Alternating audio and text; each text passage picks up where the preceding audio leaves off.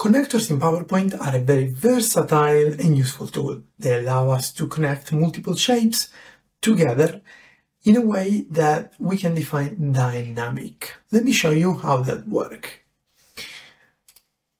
I can connect two shapes from one anchor point to the other anchor point.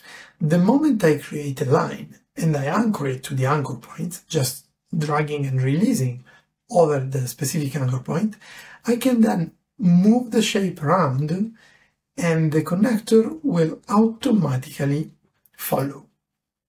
Connectors can be straight or they can have elbows. Why do we need elbows? For example, we need elbows to create custom diagrams. Imagine organigram charts. In this case, having elbows is fundamental to create hierarchies.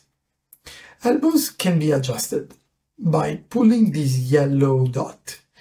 But let's suppose I am in a situation like this, in which this yellow dot is higher than this yellow dot, and I want them to be aligned.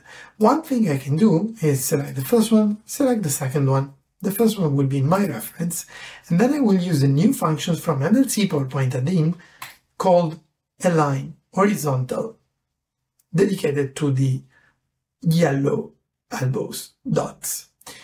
The moment I click it, the two yellow dots will be aligned together. Last but not least, a very cool option is that you can even create anchor points that are completely custom. For example, if I wanted to connect this rectangle to this square, I would have to use one of the four anchor points existing by default.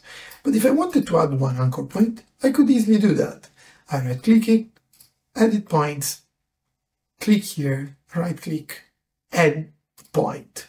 The moment in which I add a point, I have it here as a new anchor point. And I can use it to connect my shapes. PowerPoint connectors are a very versatile yet powerful tool that enable us to connect multiple shapes together in a way that they readjust depending on the position. I believe they are very useful and I think that you can make great use of that, especially in organigram charts, flow charts, and any kind of chart that is represented by the connection of multiple shapes.